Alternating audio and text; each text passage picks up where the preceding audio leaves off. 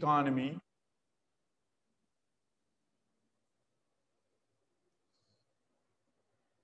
role of rivers in economy.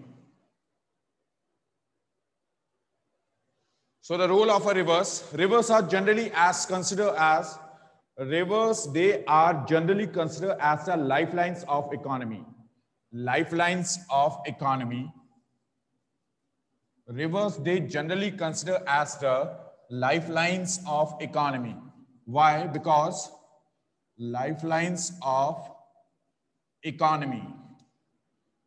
Lifelines of economy. Why? Because first mind, development of civilization. Development of development of civilization. Civilization.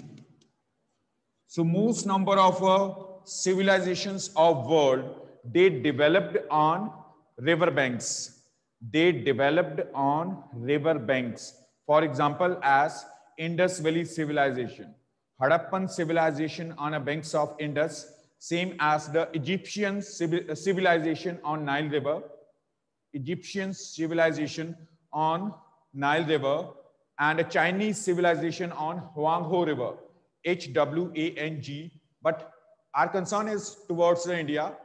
So Harappan civilization, Indus Valley civilization, so these civilizations, they develop on a river banks because the variety of needs of society, the needs of society, they accomplished through the, such needs were accomplished through the rivers. Such needs of society, they directly accomplished through the rivers. Rivers have been as the fundamental importance, fundamental importance throughout the human history. The banks of the river have witnessed great cultural and economic progress. Great economic and cultural progresses during the during the past time. Clear? Second, second, settlements. Settlements. So people they prefer to live nearer the sources of their water. So the river valleys river valleys contain dense and concentrated settlements. Dense and concentrated settlements. Why? Because most of the large cities most of the large cities complete their complete their necessities necessities complete their its necessities through the necessities through water supplies. But they also receive they also receive they also receive as the transport wastage from settlements. Rivers these are the carriages of a solid and liquid waste discharge from household areas and industrial areas. From household areas and industrial, industrial areas. Rivers are generally, they are the carriages which transport large quantities of solid waste. Solid waste means the uh, waste, domestic waste and liquid waste solid and liquid waste. Example, Yamuna. Yamuna, Delhi's, de, uh, Delhi's polluted water, it is directly discharged in Yamuna. Discharge in Yamuna. Third, industrial development. Industrial development. Third, as the industrial development. Industrial development industrial development industrial development. So the industrial development has influenced along rivers as many industrial processes. Industrial processes they are sustained on they are sustained on water as raw material.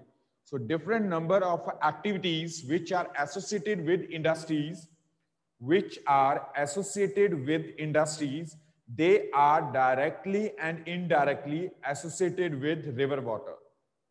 For example, when we're talking about the metallurgical industries, iron and steel industries, aluminium smelting centers, cotton textile industries, in such industries, water required in a larger quantities. In iron and steel industries for cooling purposes, for cooling purposes and in cotton textiles for washing and dyeing purposes. Water required in larger quantities. Same as in a nuclear reactors where with the help of a uranium electricity generates nuclear reactors water required for a cooling purposes. So industrial activities are basically concentrated on a regular supply of water. Regular supply of water. Clear? Regular supply of water. Fourth, fourth, rivers are the means of transportation. Rivers are generally the important means of transportation. Rivers provide as primary channels of inland transportation, inland waterways, inland waterways, not only directly in the form of navigable waterways, not only directly in the form of not only not only directly directly in the form of navigable waterways, but also indirectly through their valleys, indirectly through their valleys, where roads and railways, where roads and railway lines are built. Roads and railway lines are built. Example, in La India's largest India's largest inland waterway, inland waterway, which are generally occur through the rivers and international waterways occur through the sea and oceans. So India's largest, India's largest inland waterway, India's largest inland waterway on Ganga River, on Ganga River, on Ganga River from it is from Allahabad, which is now presently known as a Prayagraj, Allahabad to Hooghly. Allahabad to Hooghly, it's having as the, it provide as the longest inland waterway route. Longest inland waterway route in India.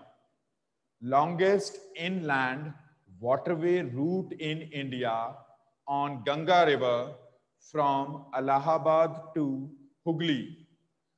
So that waterway generally used for export of materials, export of materials towards Calcutta port, towards the Kolkata port.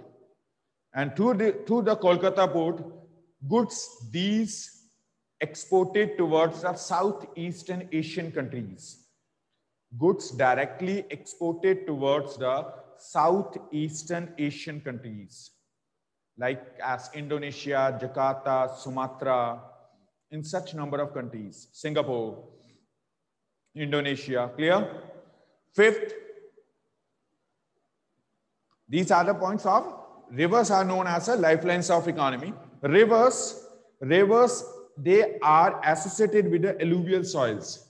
Rivers are associated with the alluvial soils. So alluvial soils, which are basically formed through the deposition of sediments brought by the river.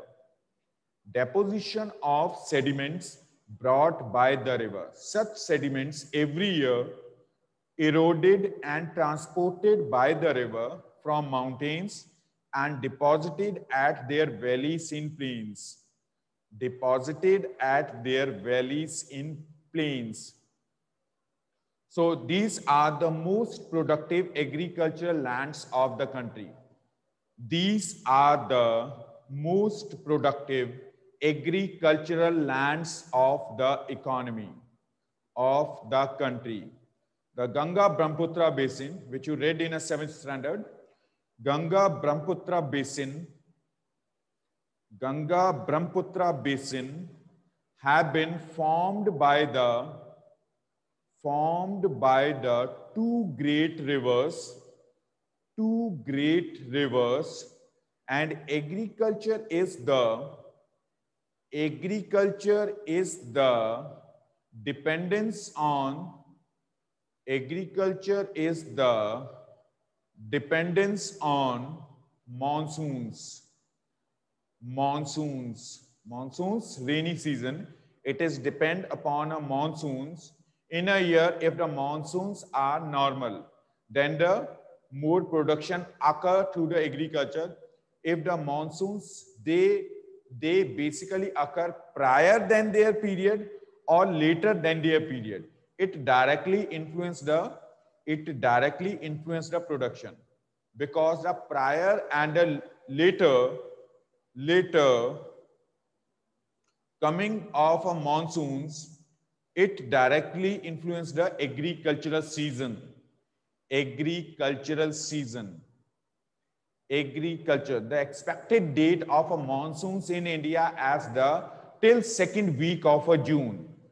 When the monsoon winds, they are striking over a coast of Kerala. Coast of Kerala. And they takes as a 40 to 50 days to reach over a lands of a Punjab. Lands of Punjab. If the monsoons, they are not in a normal in a conditions, then it will as adversely impact on agriculture such adverse impact reduced due to the rivers, due to rivers. Now presently there are a number of canals which obtained from rivers to complete water necessity of agriculture. Clear?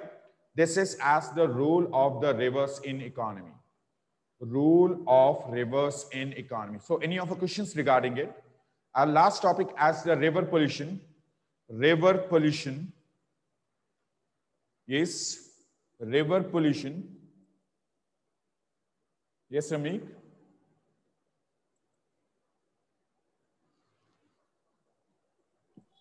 Yes, sir. Please repeat the point again. Rivers are associated with the. Rivers, they are directly associated with the alluvial soils, alluvial soils which are alluvial soils which are formed through the deposition of sediments brought by the river. Such sediments which eroded, transported, and deposited by the river at their valleys in plains. At their valleys in plains. The most productive agricultural lands of the country, most productive agricultural lands of the country are found in Ganga Brahmaputra basin. They have been formed by the two great rivers, Ganga Brahmaputra basin, formed by the two great rivers, two great rivers, and agriculture is dependence on monsoons in India. So rivers, the canals which are obtained through rivers canals which obtained through rivers, it help, it helps, it helps for agricultural production. Agricultural production. Indirectly, we can say as a agriculture is the backbone of Indian economy. Agriculture is the backbone of Indian economy. This may be as I ask you by the exam, uh, examiner why we called as a agriculture which led through the rivers as the backbone of economy because agriculture provides 60 percentage of job opportunities the 60 percentage of a job opportunities in india are generally provided by the agriculture they are provided by agriculture second agriculture supports the agro based industries agriculture supports agro-based industries like cotton textiles, jute mills, sugar mills, sugar mills. Clear? Third, agriculture helped to make India as a self-reliant in food grains. Self, reliant in R-E-L-I-A-N-T, self-reliant in food grains. Self-reliant in food grains. Why we call as a self-reliant or a self-sufficient? Because at the time of the independence, independence are food grains imported from America. But due to the introduction of a green revolution, India now as the self-reliant in food grains. We are exporting food grains, neither imports.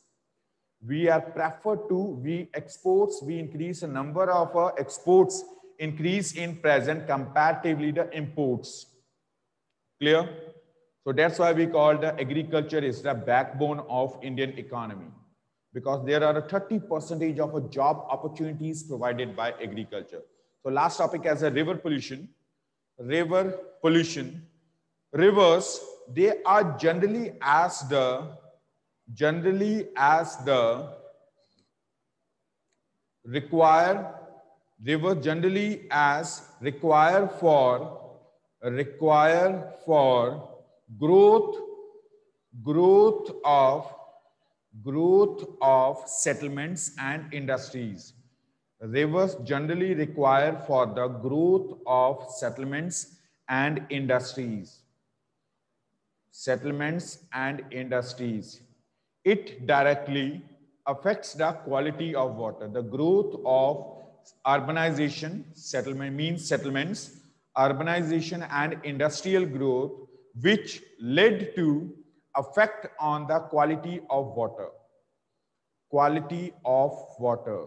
As a result, as a result, more, as a result, more and more water is being drained out. More and more water is being drained out, drained out of the rivers, rivers, reducing their volume. The increase in urbanization, the increase in urbanization and industrialization, increase in urbanization and industrialization, industrialization declines quality of water, quality of water, quality of water through discharge of through discharge of domestic and industrial waste in rivers. Through discharge of domestic means household waste garbage. Solid waste discharge from our domestic areas household areas domestic and industrial waste. Industrial waste polluted water which use in a nuclear reactors it directly discharge in a rivers. So industrial and domestic water discharge in river water. Discharge in river water. So to solve the problem of a river pollution, river pollution, to solve the problem of river pollution, NRCP, National River Conservation Plan, National River National River Conservation Plan. National River Conservation Plan initiated by Government of India initiated by Government of India Government of India in 1980s. In 1980s. In 191980, 1980s, under which the activities of Ganga Action Plan, activities of Ganga Action Plan initiated on, initiated on 1985 1985 1985 1985 and closed on March 2000 This plan targeted to clean Ganga or to protect Ganga from further pollution till March 2000. March 2000. March 2000. March 2000.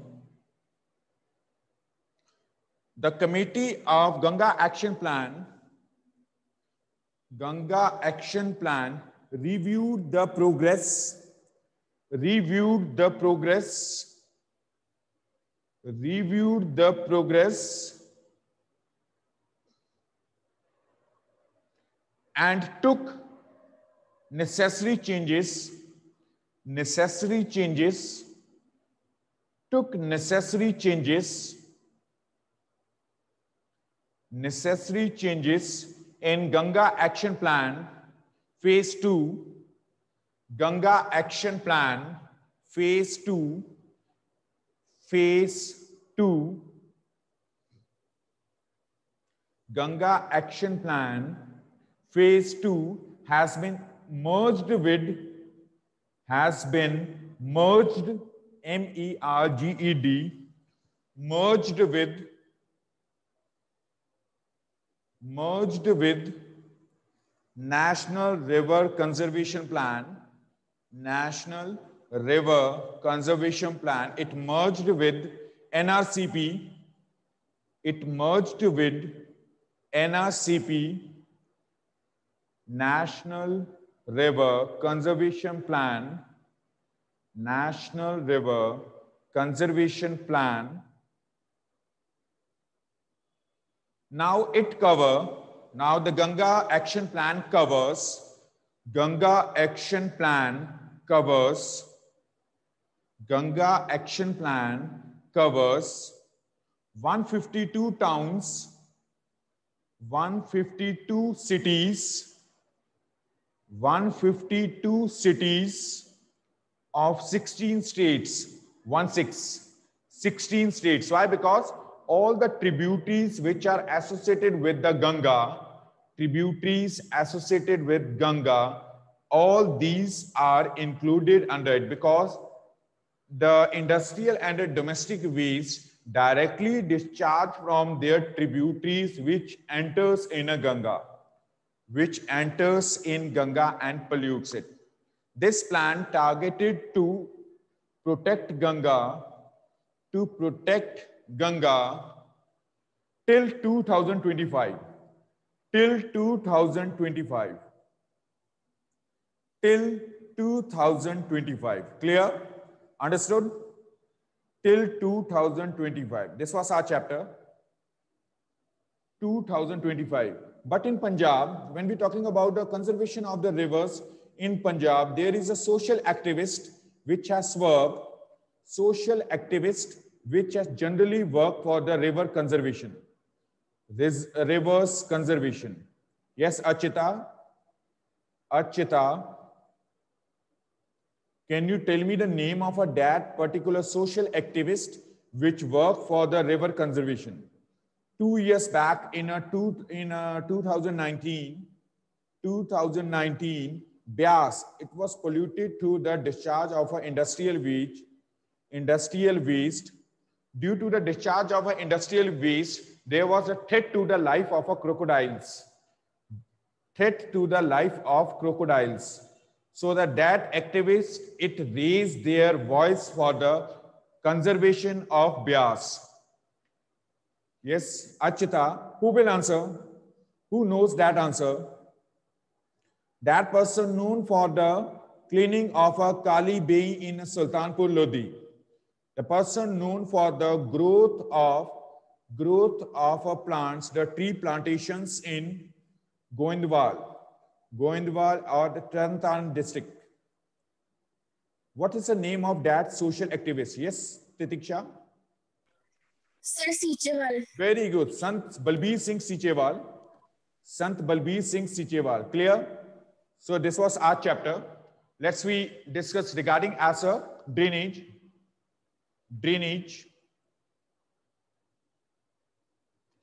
So those who are having as a queries, they can ask related with the drainage. At the beginning of a chapter, we discuss as a some of the terms related with the related with the drainage. Drainage is what? It is as the water outlet. Drainage is a water outlet of an area, of an area through which has basically worked through the seasonal rivers, seasonal rivers, tributaries or the rivers or rivers. Tributaries are what? Tributaries are the smaller streams of water which joins the larger river, which joins together to the larger river are known as tributaries. Example, Yamuna is a tributary of Ganga. Yamuna is the tributary of Ganga. Clear? And rivers, these are originates from the Himalayas, which are Himalayas or peninsular parts, which are joins to the larger water body at their mouth. At their mouth. In this chapter, we discuss regarding as patterns, patterns, the drainage patterns, drainage patterns. Drainage patterns means drainage patterns means the spatial arrangement and form of drainage system in the form of geometrical signs, geometrical shapes, geometrical shapes. It is generally influenced by drainage patterns influenced by the velocity of water, velocity of water, types of rocks, drainage patterns affected by the velocity of water.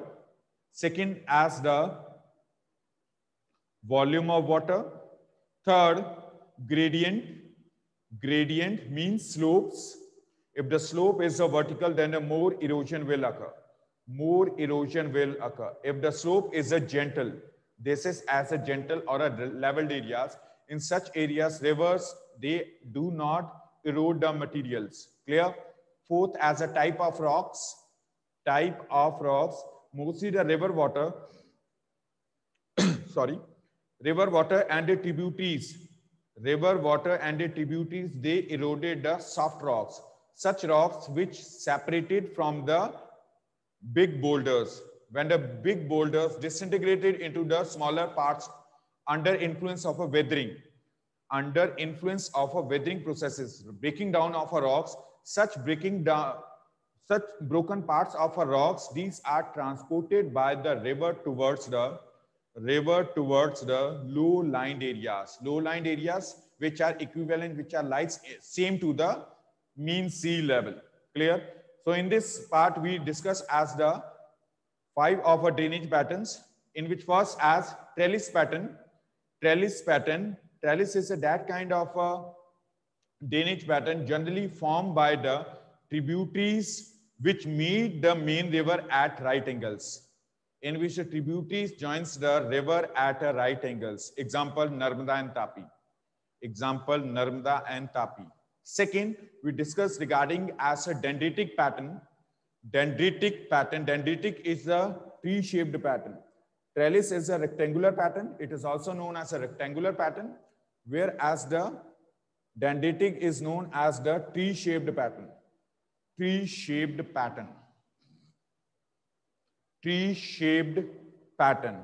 So dendritic or a tree-shaped pattern is generally generally found in a areas where in an areas where widespread pattern to be found on the earth's surface.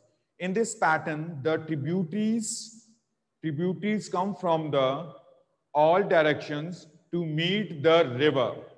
To meet the river is known as the dendritic or tree-shaped pattern, which is known as the tree-shaped pattern which is known as the tree-shaped pattern. Example, the tributaries of a Ganga, tributaries of Ganga, those tributaries which are originate from the Himalayas as well as peninsular parts. So Himalayan originate rivers, Himalayan originate tributaries of Ganga are Yamuna, Ghaggar, Gandak, Kosi, Kosi, Gomti. These are of the Himalayan origin. Peninsular originate rivers or tributaries of Ganga are Chambal, Ken, Son, Betwa, Damodar, Betwa, Damodar. Hooghly is a distributary of Ganga, which has generally formed when the Ganga reaches at the Kolkata, at Kolkata in West Bengal, it starts to split into the smaller streams. Such smaller streams are known as the Hooghly in West Bengal and Meghna in Bangladesh. The combined stream of a Padma and Ganga in Bangladesh, when it starts to make the delta in Bangladesh, it is known as the Meghna. Clear? Meghna is also the name of a tributary of a combined stream of Ganga and Brahmaputra. Ganga and Brahmaputra. Third pattern, third drainage pattern has a parallel pattern when sometimes, sometimes a numerous number of streams, they starts to flow parallel to each other and follow the regional slope. This pattern is developed on a uniformly sloping areas uniformly sloping areas. Again, Narmada Tapi, we can mark as the example. Both are parallel to each other because in between our these two river systems, rivers, there as a water divide. On your screen, the water divide has showing here, water divide, which has generally as the elevated area lies between the two river basins. So in between of Narmada and Tapi, Satpura ranges are there. Satpura ranges. So Narmada Tapi also example of a parallel system. Fourth, as a radial drainage pattern or centri radial drainage pattern or centrifugal pattern. Radial drainage pattern is also known as the centrifugal pattern because in which as a different streams originate from a common center.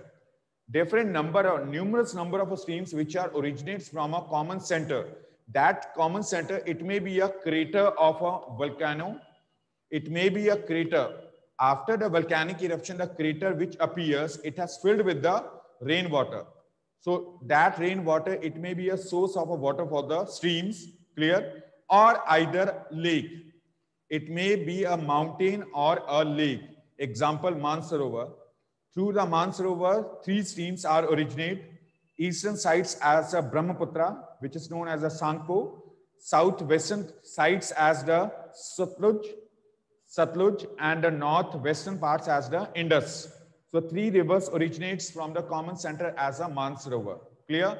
Next, we discuss as a centripetal pattern. Centripetal pattern in which a different number of streams move towards a common center. Move towards a common center. Due to the movement of a streams, the water of a streams led to the formation of a lakes. Formation of lakes, Dal and Wular Lake in J&K. Clear? Dal and Wular Lake in J&K. So tomorrow's test, it will be of the complete Himalayan river system, means end of a Brahmaputra, end of Brahmaputra river system. That portion which is above of a the portion which is above of a peninsular river system, everything. Clear? Is that clear? So this one for today.